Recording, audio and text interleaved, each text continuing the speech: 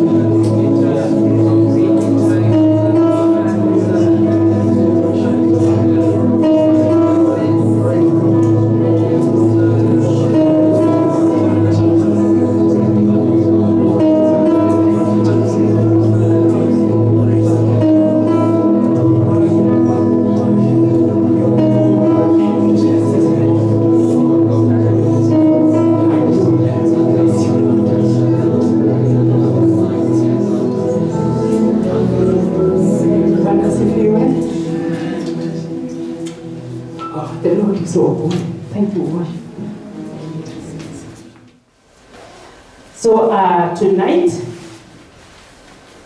we continue with the theme of this year, 2023, which is Redigging the Ancient Wells. And the theme for this third term is Redeeming Destinies in the courts of heaven. Our topic tonight is shaping Kenya's destiny in courts of heaven. Now, we were asked to carry our training manuals, realizing the destiny of people. I hope you remembered. Good. And if you didn't carry, maybe you can purchase one and make it a gift later to somebody. And uh, to speak to us today is our leader, Apostle Phoebe Mugo. And I'm going to ask her to come forward so that um, we may pray together. Our dear Heavenly Father, we are so grateful again, our Father, for the table that you have prepared for us. We thank you, Lord, because this is love that you have for us. Thank you so much, our Father, for the vessel that you have prepared, oh God. We pray, Holy Spirit, you who is our teacher, our counselor, our guide, that you may use Apostle Phoebe in a very special way. That you would anoint her to be able to bring out that which you have put in her heart. We thank you, Father, for each and every one of us who is seated under your voice. We pray, oh God, that our hearts, oh Lord, shall be receptive to the teachings that you are giving us tonight. And no seed will fall at the wayside, but it shall fall on fertile ground. And so, Lord, we thank you, we bless you. We plead the precious blood of Jesus over this facility, and we pray for open heavens, oh Lord God, that you may continue to minister to us. We give you praise, we give you glory. In Jesus' name we pray. Amen. Amen. Welcome to the prayer training program of intercessors for Kenya Ministries. Our topic today is shaping Kenya's destiny in the courts of heaven. I want to begin by presenting to us four objectives. One, to bring an understanding of how our covenant with God enriches our calling. Two, to understand how God shaped Israel's destiny through altars and covenants. Three, to see how Kenya's destiny is being shaped through evil altars and covenants. And four, to raise a petition and contend for Kenya's destiny in the courts of heaven. Our God is a covenant making and covenant keeping God. Throughout history, mankind has achieved the greatest and mightiest deeds through covenanting with God. And this includes our salvation, which is the covenant between us and God through our Lord Jesus Christ. Now open your textbook to page one to page 98. I want to give you biblical validation that what we are saying and what we are going to learn tonight is true. There are several biblical covenants, five in the Old Testament and one in the New. We have the Adamic covenant, which you see in Genesis chapter 3, verse 16 to 19. The Adamic covenant seeks to correct the curses pronounced against mankind through God's provision for the sin of Adam through the seed of woman who will bruise a serpent's head, shown in verse 3, in chapter 3, verse 15. We, had, we have the Noahic covenant seen in chapter 9.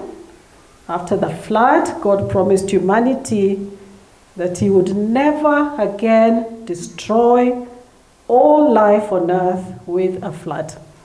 God gave the rainbow as a sign of the covenant, a promise that the entire earth would never again flood, and a reminder that God can and will still judge sin even today.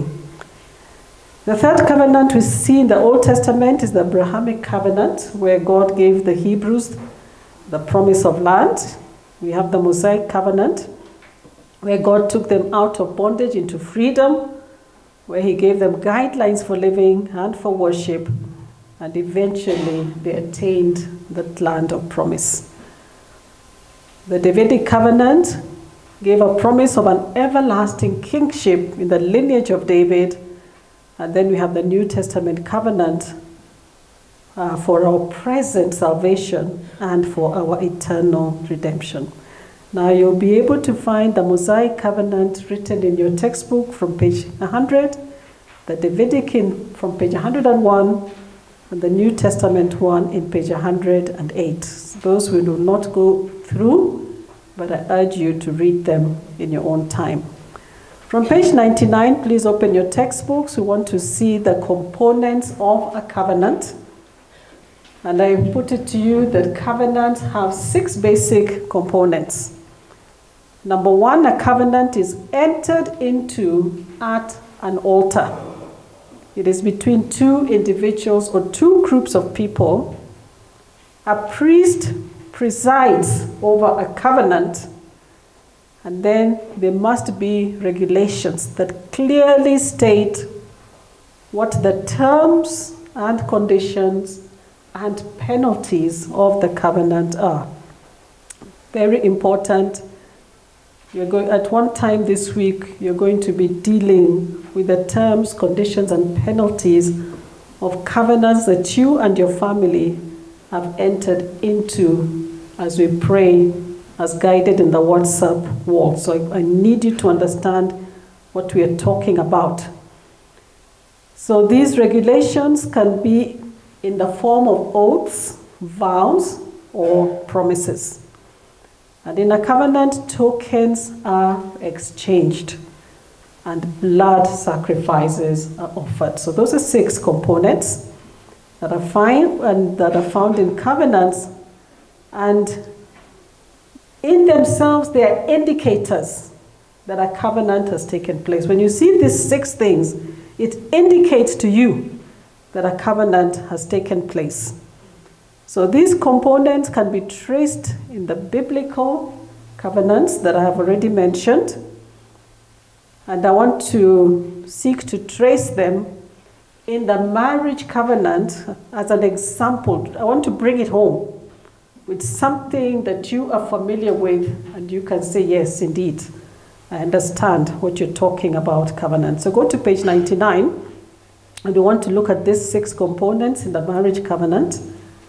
Uh, number one, the marriage covenant is entered into by two people, male and female.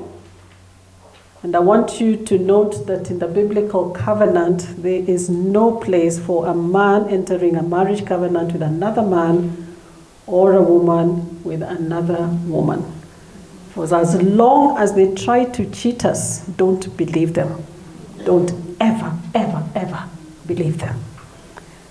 You read Genesis chapter 1, verse 27 and 28, and then chapter 2, verse 20 to 25, when Pastor Bob was teaching on the family, he took us through those, so I'm not going to repeat it. But in summary, God made male and female and blessed them to be fruitful and to multiply. The second component is these two people who want to get married, they present themselves at an altar, an altar of God. And uh, the altar of God that we have today that we would recognize is the church. So one should be very careful to enter into a covenant of this magnitude in a godly church. That may sound funny but not all churches have the right foundations. So you need to choose a church with a right foundation, correct doctrines, and correct practices. Do not just choose any church, but one that has a godly foundation and godly doctrines. It has become fashionable for some people to hold wedding ceremon- ceremonies in all kinds of places that look attractive to them. Not all these places are godly. The best altar of God at present remains the church. Now I'm going to ask you to, in your own time, read page 104, and you'll be able to see the purpose of godly altars. I want you to see how a godly altar influences the covenant, and then you'll understand why I'm urging you, all your children, as you will advise them to enter into the marriage covenant in a godly church. Because where you enter your covenant will have an effect on your relationship. Number three, we have a priest. The priest conducts the ceremony as the go between man and God. And again, choose a true godly representative of God to preside over your covenant. Brother Lubala said some things about that when he was teaching. I believe you will remember. And then the two make vows, And uh, often we say, I take thee to be my law- lawfully wedded husband or lawfully wedded wife, and so on. The traditional wedding vow illustrates the kind of commitment that is demanded in a covenant. When we say, I take thee, and then we add in sickness and in health, for better and for worse. We witness to the fact if that relationship turns out to be unprofitable for us, we will not abandon our partner because of hardships. And this is a vow that we make. This is a vow that we make. Vows invite blessings, but they also invite curses upon those who make them and then break them. So never make a vow that you cannot keep. Saying until death do us part means we are married until death. It includes the idea that nothing but death can end the covenant.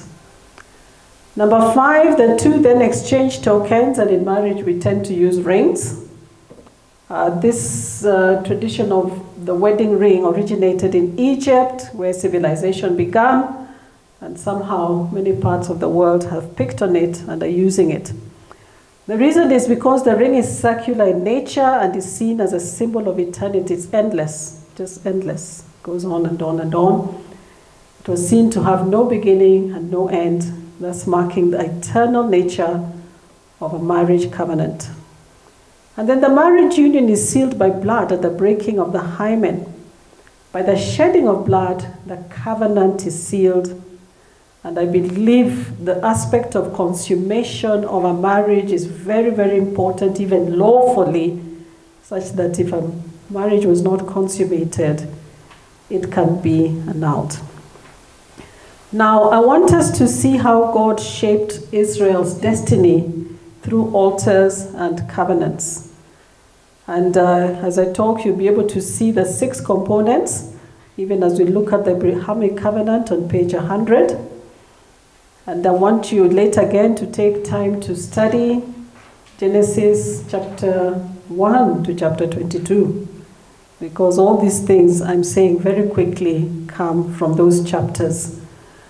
But what we see in the Abrahamic covenant is that it was established out of a revelation by God. Genesis 17, verse 2, the Lord said, I will confirm my covenant. It began, the idea originated with him. Verse 7, I will establish my covenant as an everlasting covenant. covenant. Verse 9, he said, Keep my covenant. Use the word my to show that it was his. The same with verse 10. And then we see that it was entered into by two parties till Genesis 17, verse 2. The Lord said, I will confirm my covenant between me and you. So it's between God and Abraham. Verse 7, I will establish my covenant as an everlasting covenant between me and you. And then we see the altar in Genesis 12, and in a while we'll see several other altars that are party to this covenant. But verse 7 says, So Abram built an altar. Verse 8 says, There he built another altar. The priest is described in Genesis 22, verse 16. We are told God presided over the covenant himself as the priest and swore to fulfill it according to the highest name in heaven and on earth, which is his own name. Chapter 22, verse 16. There are promises in covenants, Genesis chapter 12, Genesis chapter 15, and Genesis chapter 17. Chapter 12, verse 2 to 3, the Lord says, I will make you into a great nation. He's making a promise to Abraham. Chapter 15, verse 5, he says, he gives him a promise of offspring. Chapter 17, verse 4 to 7, he says he'll make him a father of many nations. So he's talking of fruitfulness. He says, I will make nations of you, and kings will come out of you. And then there's a promise of the land in Canaan. And then we have the tokens Genesis 17, verse 10 and 11 you are to undergo circumcision, and it will be the sign of the covenant between you and me. And then verse 13 the sign of the covenant is to be in your flesh. It talked of blood. Genesis 59 there was a heifer, a goat, a ram, they were cut into half. The birds were offered in whole. Verse 17, we see a smoking brazier with a blazing torch passing between the pieces, and we're told that that was a Spirit of God coming to confirm the covenant. Do we have a mobile microphone? Okay. I want somebody to give us the six components of a covenant. Can you just pass the microphone around? Put up your hand. Six components of a covenant. No looking. Okay, Patricia, don't look anywhere. An altar. Six of them. Okay, an altar, um, a token, the blood, um, two parties, and then priest. One more. Oh, a vow. Vows yeah, and promises. Thank you. So please, please, please. Yes, you can go ahead and clap. Keep those in mind. But I want to say a bit more about the Abrahamic covenant and uh, the role that altars and covenants played in shaping the destiny of Israel. In Genesis chapter 12, verse 7, this was at Shechem. Abraham built the first altar at the place that God had appeared to him. The word appeared is key. There's going to be another quiz in a minute. And this time I won't allow you to volunteer, I will volunteer you. a human being can therefore raise an altar at the place where they encounter a spiritual being, where God appears to you. Now, I'm not asking you to go and put up a statue.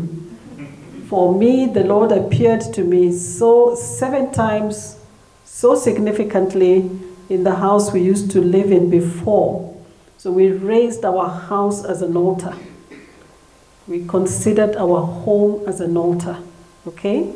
A house of God, a place that the Lord appeared to me quite physically in the same way that I'm seeing you seven times. Genesis 12, verse 8 this second altar was erected in Bethel, and the reason was to secure, secure the land. Okay, so altars are used to secure the land. Number one, altars are raised where God has appeared. Second, to secure the land. Genesis 13, verse 14 to 18. This is the third altar. It was raised at Hebron and it was erected both to secure land but also to mark the promise that God had made to Abraham and his descendants. So we note that altars mark and seal promises. Promises, promises.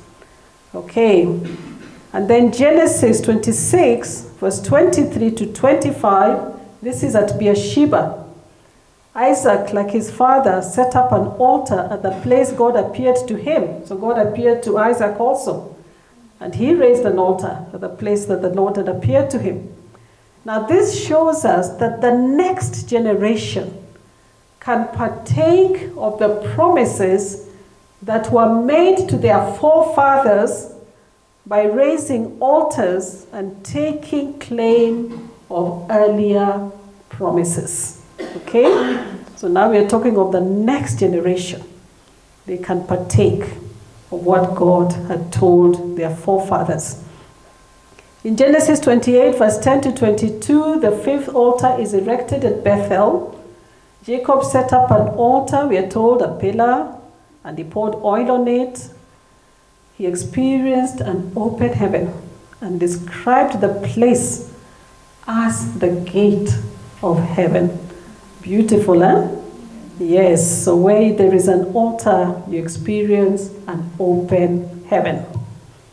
Okay? And uh, he described it as the gate of heaven. Verse 13 to 15 God reinforced his promise to give the land to the descendants of Abraham. Promises are reinforced at altars. Promises are reinforced at altars. Jacob raised an altar and anointed it.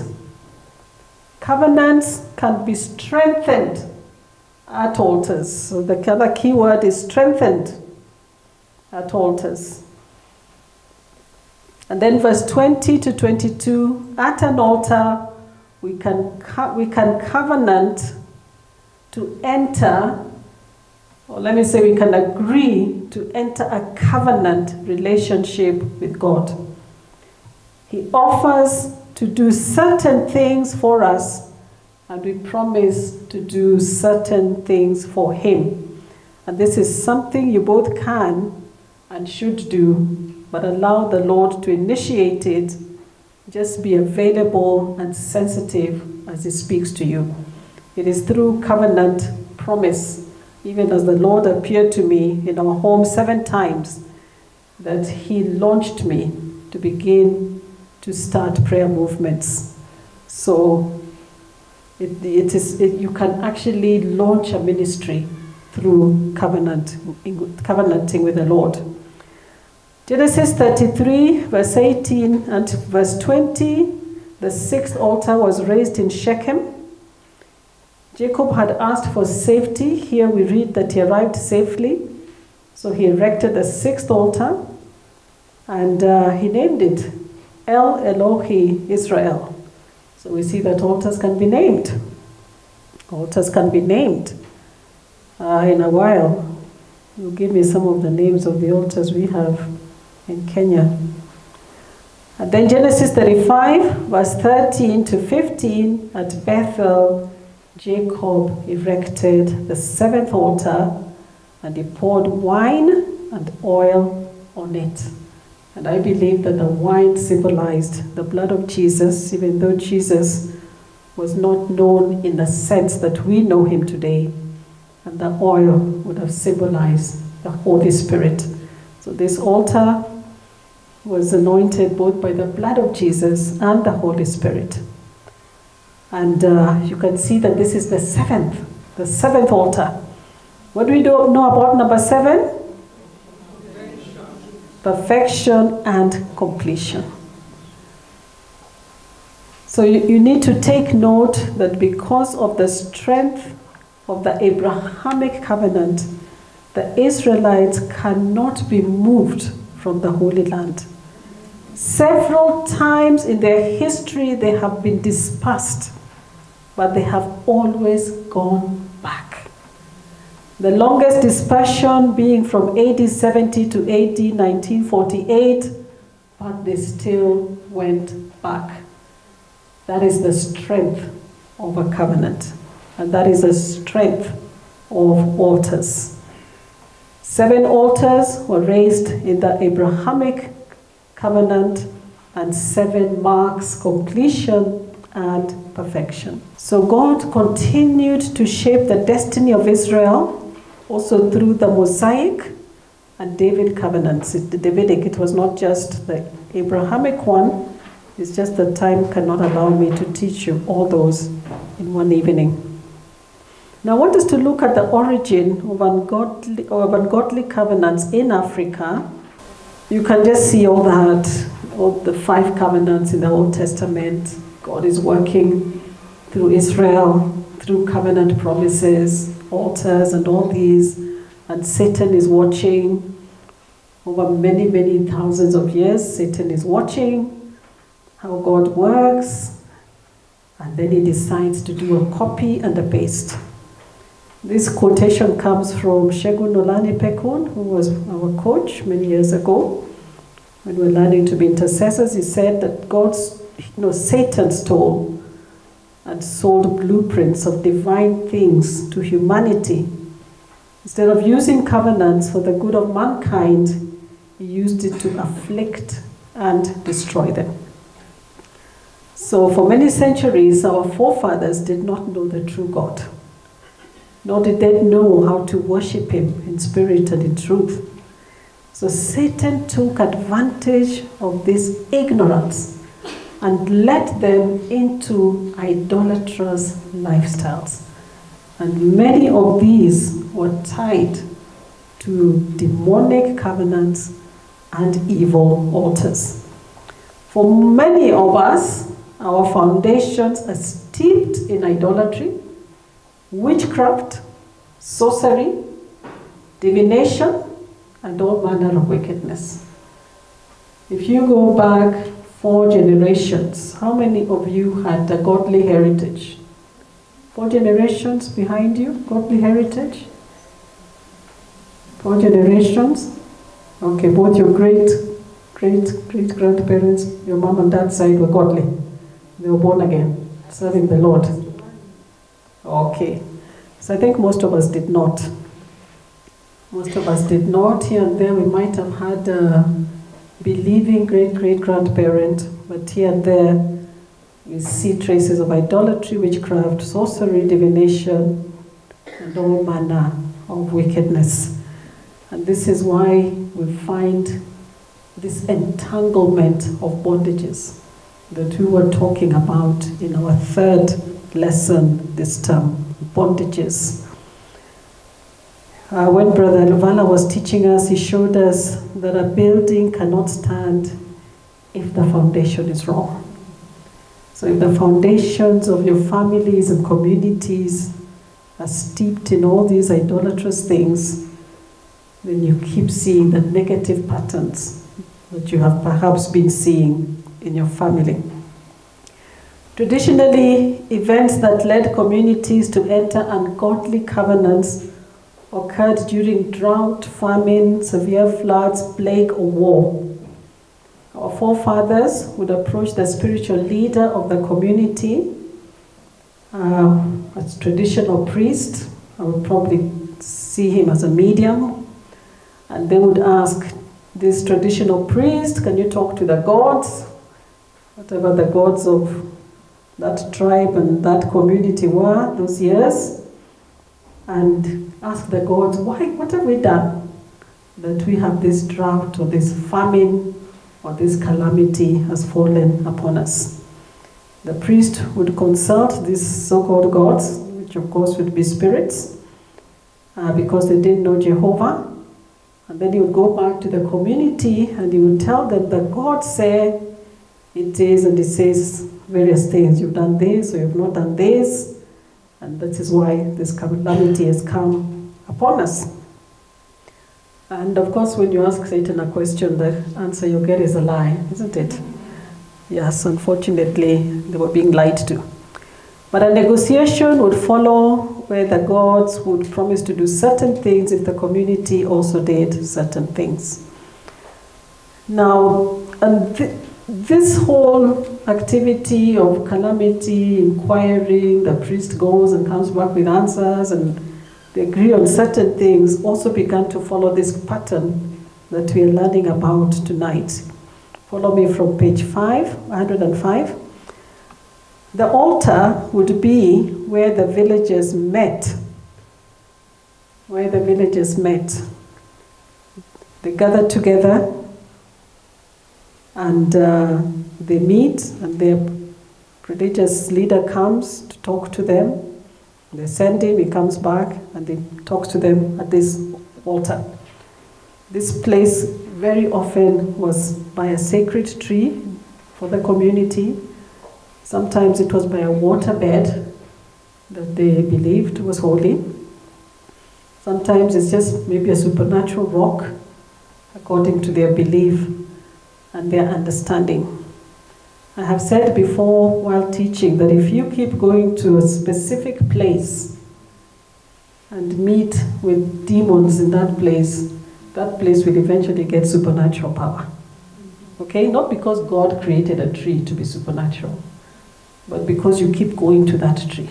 You are turning it into an altar. You are turning it into a meeting point with demons So it will begin to become a supernatural place.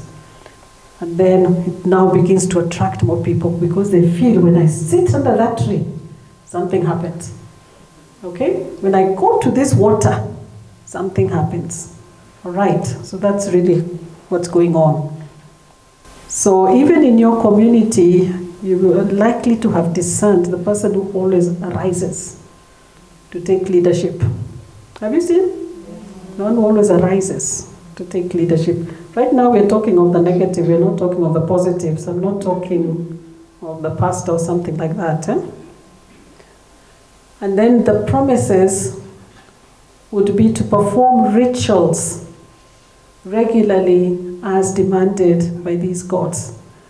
So with time, they'll be saying, the reason this calamity has come upon you is because you neglected the rain festival, or the planting festival, or the harvesting festival. You know, things like those, eh? Did you, you did not give sacrifices to the gods when your sons were going to war. And then, very many times, they would also want something to be done at childbirth. In order to avert this calamity, when you have children, perform this ritual. In order to avert this calamity, when you have children, name them like this, or initiate them like this. Or do this when they're getting married. Or do this when they're getting married. Unfortunately, a lot of our African traditions were came up in a very, very wrong way and for very, very wrong reasons. Let's go to number five, tokens and sacrifices. We are still on the we are still on the components of traditional covenants, tokens and sacrifices. In our African traditions, there's a tendency to blend tokens with blood sacrifices. For example, body marks. Satan, over the years, has caused our people to mark their bodies with tribal marks. So they would cut their bodies on their head, their cheeks, their chest. I know some will do it for beauty, some will do it for medicinal purposes. Sometimes medicine is put inside. But we have found when we do deliverance that cutting of the body in these ways has opened up many, many people for demonic infiltration. The place you cut, as that ceremony becomes an open door for demonic infiltration. Tokens have also been items such as rings worn on all kinds of various parts of the body, beads, especially the ones which are worn on the waistline or on the feet, uh, on the legs, you kind of wonder why it should be there. Candles, pieces of cloth. When growing up, my mom would always warn us not to take gifts of beads or coins from strangers. I'm not uh, spoiling the reputation of Ugandans, it's just that that's where I grew up.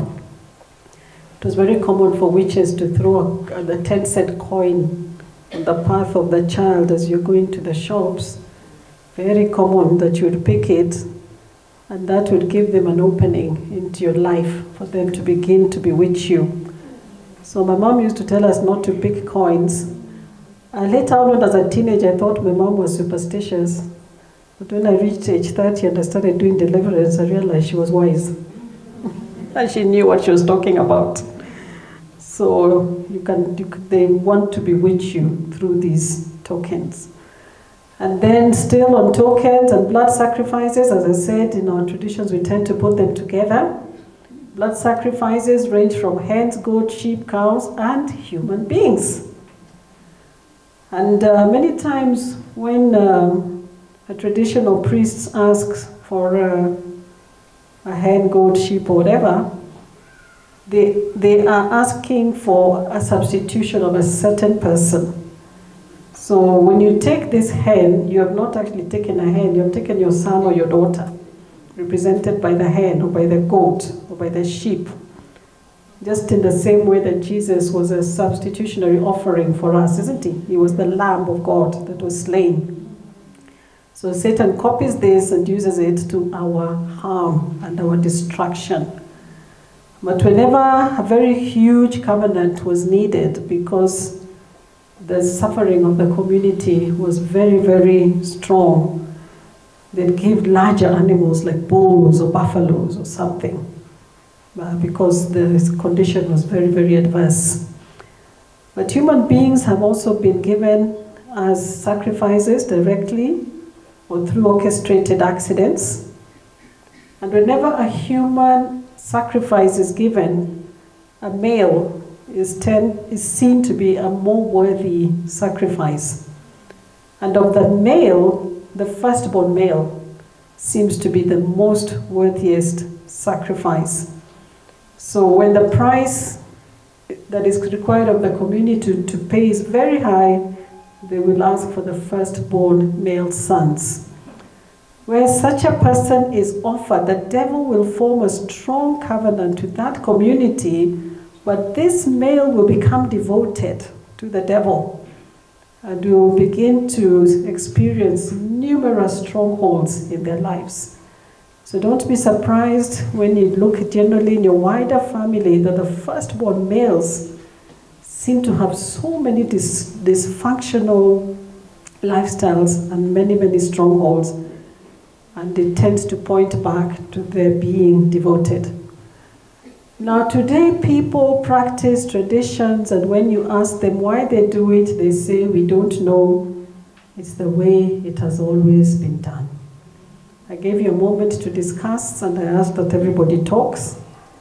So none of you without, with, have any excuse to do these things and say it is because they've always been done. You are wiser than that. Judge them and see whether they are righteous or they are idolatrous. Now, remember all the things we said about when you indulge in these covenants at an altar?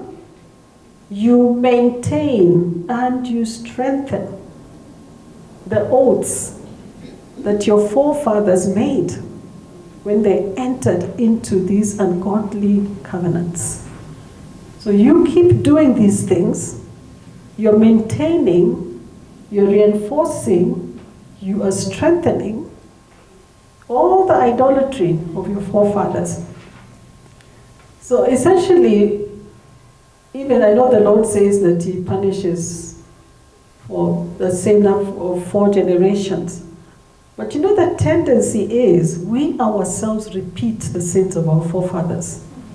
So by the time we are being punished, we are also being punished for what we have done, as we have repeated the sins of our forefathers. We reinforce, we maintain, we strengthen, all those things that I was asking you to repeat when you were going through the covenant with Abraham. So there are many festivals and celebrations that we indulge in, in the guise of tradition and culture, in which negotiations and transactions become the renewal of the original covenants with ancestral and territorial spirits. So you, you need to come out from among them, you need to be separate. The place of ungodly covenants, page 106, these practices tend to begin in families and communities and eventually become national. In our lifetime, we have seen altars in the form of statues and monuments.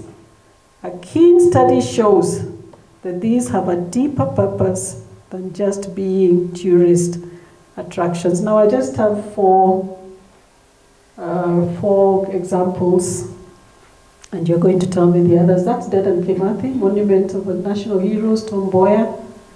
And then we have this national monument at the Uhuru Gardens, raised to mark our independence. And then we have the Nyayo Monument that helped President Moi to harness power and strengthen his leadership. Okay, so we are looking at the place of altars in ungodly covenants. And I need to present to you the satanic altars raised by the revelation of Satan they are not innocent. They are not innocent. He gives the design, he tells them the material to be used, he says the sacrifices to be offered, and he says the purpose that that altar will serve. Altars are raised in order to control people and land, in order to determine which spirit owns and controls the land, to determine who comes into an area to build a church, sometimes even to start a business for that matter. And uh, you can be resisted. And you can fail to start and succeed in your business in that territory. It can present difficulty in church planting and in evangelism. There are people who go to plant churches, they are battered by things they cannot see, they give up and they flee. They manipulate marriages, marriage breakdowns, affect community health, manipulate elections and politics. A lot of our national altars have been for the purpose of manipulating elections and politics. They permit certain men or women to attain political power over others. So you will read uh, the rest of that chapter. Was it page 106? I want to go to political altars and covenants. And this was our third objective, which says to see how Kenya's destiny is being shaped through evil altars and covenants.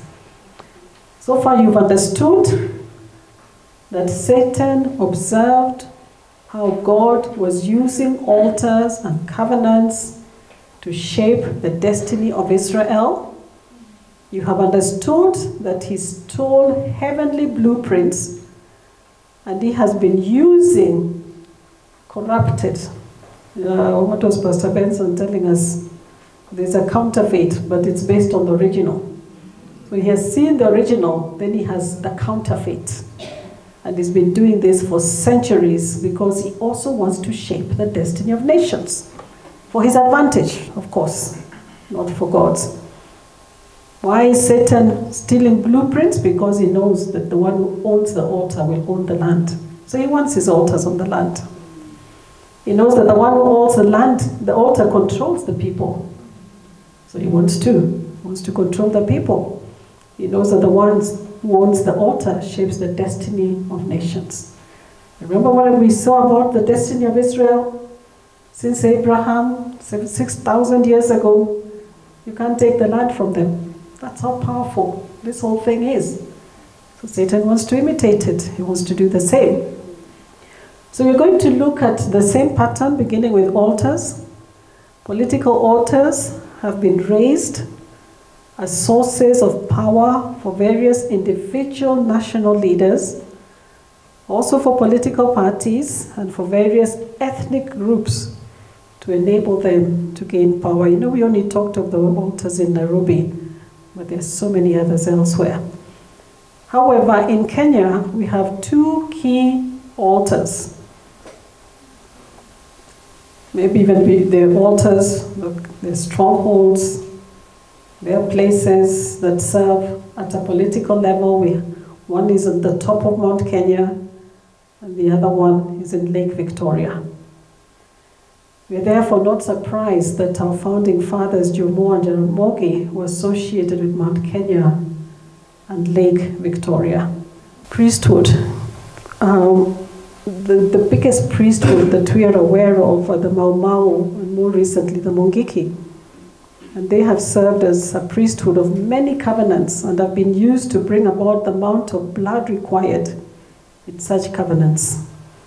Other priesthoods have been drawn from recognized witches and wizards from every single community. There's no community that is innocent of this. Sacrifices in order to give power to those who inquire of him, Satan will tell them how much blood he needs and they will find ways of giving him what he has asked for. Blood has been drawn through tribal clashes over many years, ethnic violence, and sometimes even through accidental buildings collapsing, road accidents. Sometimes they're not accidents, but they are planned. And then tokens have largely been through body parts. Human beings disappear and are found later, often with their genitals missing, breasts, tongues, and a lot of these things have been used to lay foundations of these altars that we're talking about. And various communities have their different types of tokens, but this is pretty standard. We have other altars in Kenya, again found in every community. Let me mention but a few. Kaya Forest, Mount Kenya Shrines. Uh, I've mentioned the one in Lake Victoria, Goddesses of the Waters in the Indian Ocean. Some consult um, in Kitui Tanzanian wizards because they're known to be powerful. Others visit Mukurwe wa Nyagathanga in Muranga. Or Koitalel Samoei Shrine in Nandi.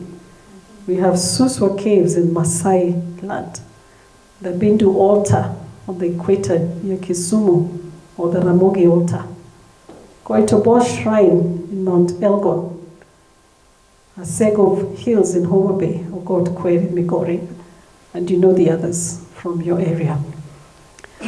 In addition to these, we have we must include modern altars that have been erected as monuments and statues in our central business district.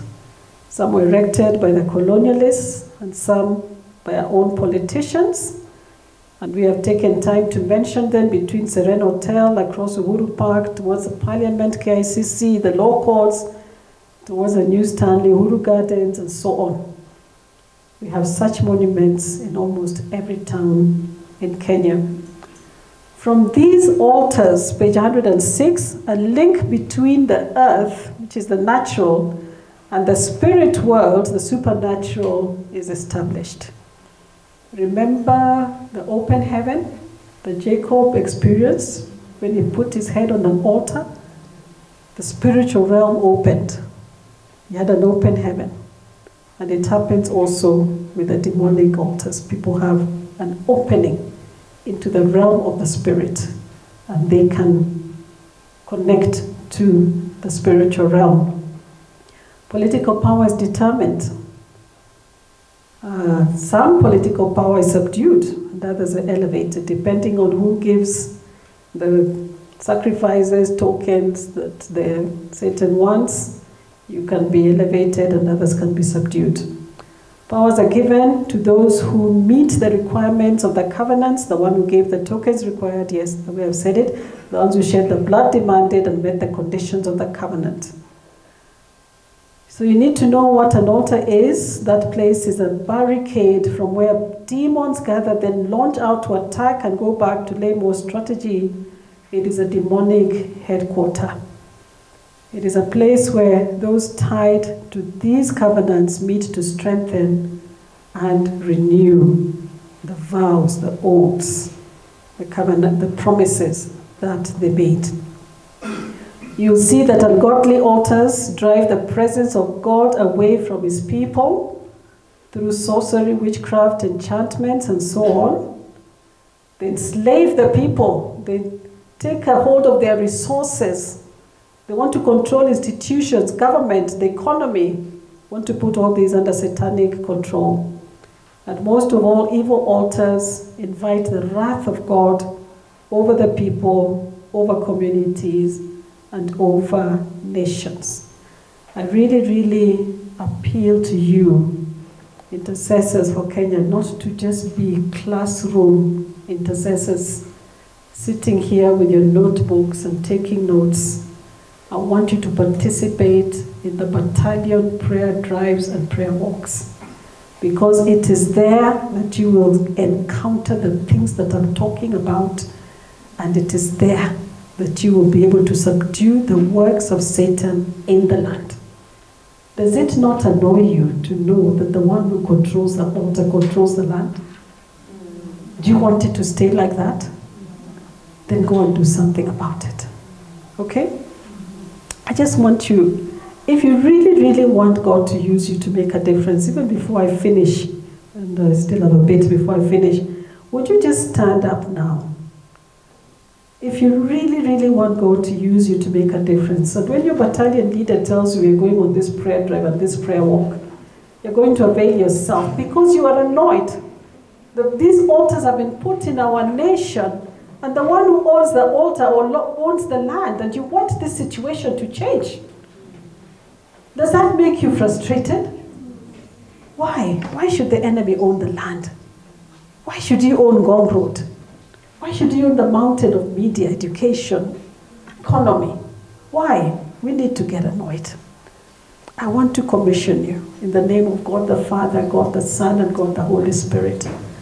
I want to commission you and send you out that you will go and counter the works of Satan at the various altars that he has caused our forefathers and political leaders to erect in this nation, that you'll be able to pull down, destroy, tear down, and you'll be able to rebuild and plant after divine and heavenly patterns as will be given unto you by the Lord.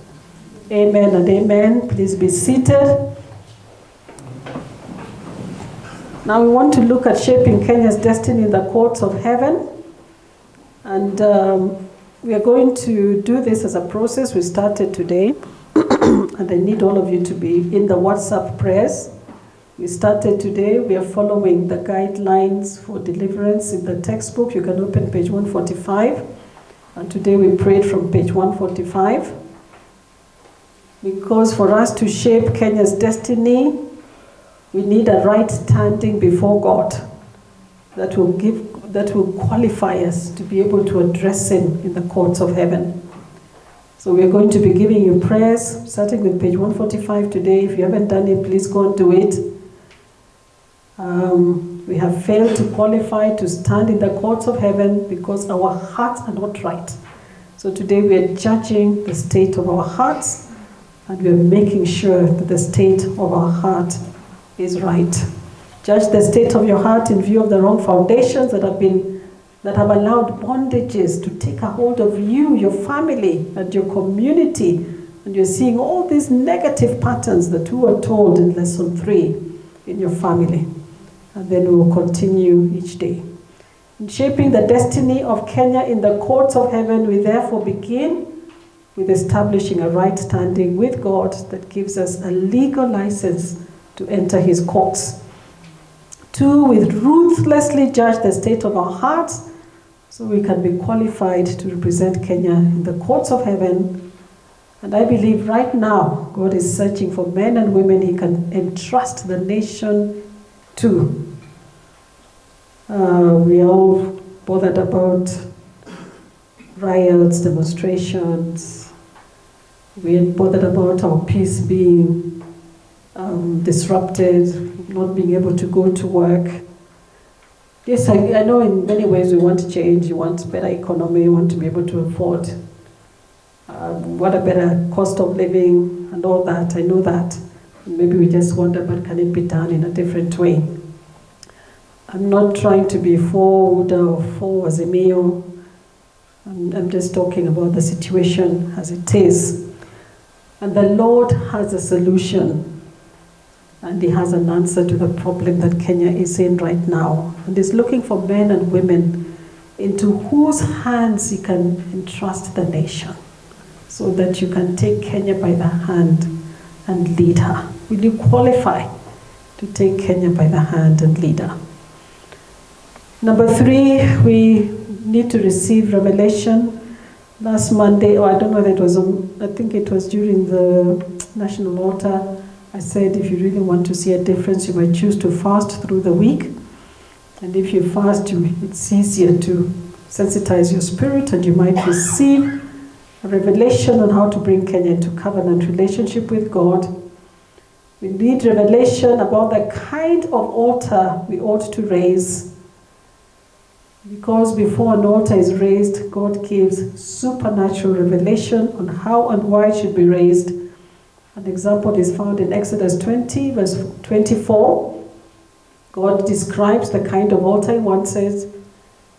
Even says what it should be made of, it says what should be offered on it, and it says the end result of making that altar. Altars are therefore never raised by human inspiration, the one raising them receives a supernatural revelation on how and why to raise it. Number four, I believe, however, that the bride of Christ is an altar that God is working with right now. God is building an altar made of living stones, stones that have been purified and tested. It is, uh, my friend Benjamin Wimmer likes to say, the dealings of God Uh, God is stones that have been purified and tested through the dealings of God. That is what he would say. It's not about places. It's not about buildings. It's not about monuments.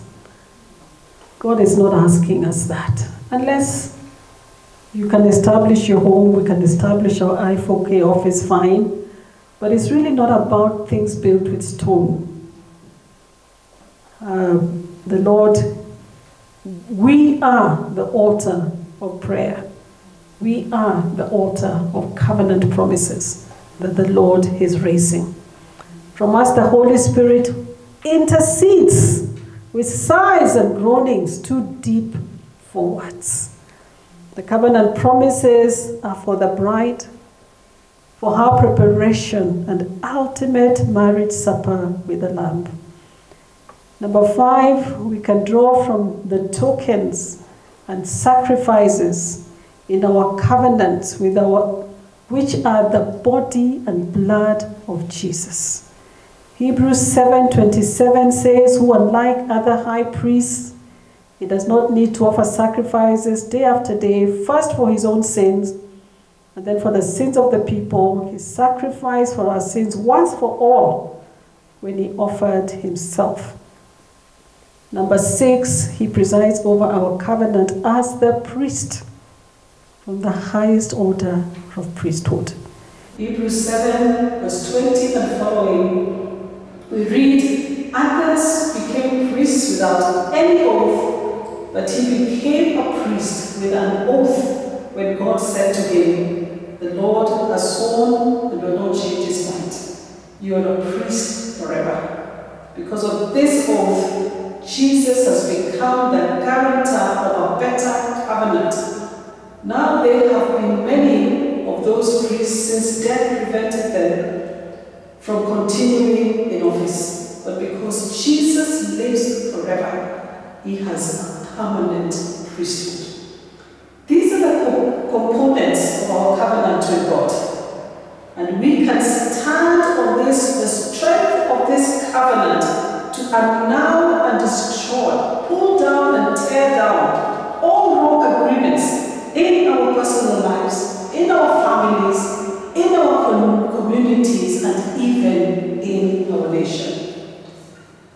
At independence, God had a blueprint for Kenya, and we need to arise now to restore this blueprint. God gave a revelation on the kind of Kenya he wanted. He sent 12 priests the founding father of the nation with this blueprint, but he neither had the spiritual capacity to comprehend it nor to act upon it. We lost the blueprint because the church was not at the right place to advise national leaders at that time. But now we know better, and we have a duty to restore for our nation. This word has recently been reinforced by various servants of God who have now put a timeline as the Septuagint year. As Kenya approaches 70 years since independence, God desires to bring us into our divine destiny. Over many years, God has told us that He has a different type of leader for the nation of Kenya. Because Kenya is special unto God. He wants to give us a righteous and upright leader. He wants to raise Kenya to a standard that would even make Israel envious. While praying with a team of ministers on 30th May, the Lord spoke to us both profoundly and with much clarity that his Davidic leader for Kenya can only be provided by a man with a Davidic anointing. When God sent someone to anoint David, he was looking for a man after God's own heart. When someone saw Eliab, he thought, surely the Lord's anointing must be upon this man. But the Lord said to someone, that's not the one, keep looking. Then Jesse called Abinadab, Abinadab and had him pass in front of Samuel. this time someone who says the Lord has not chosen this one either. When presented with two key principles in the run-up to the national elections, Christians tend to speak like the rest of Kenya by declaring that we only have two horses in the race, so one of the two must be the David. Samuel did not stop at two horses, Eliab and Abinadab. Not even the other five sons of Jesse. He asked Jesse, are these the only horses in the race for kingship?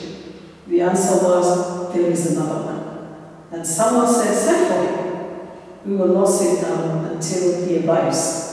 Samuel pressed in until he found the David, the chosen leader, the anointed king of Israel. The church in Kenya isn't pressing in. Instead, we turn Eliab or Abinadab into the David. We force the word of God to suit the present situation. We are too lazy to pursue the matter until we find the blueprint for Kenya and we are making political errors that are costly for Kenya's prophetic destiny.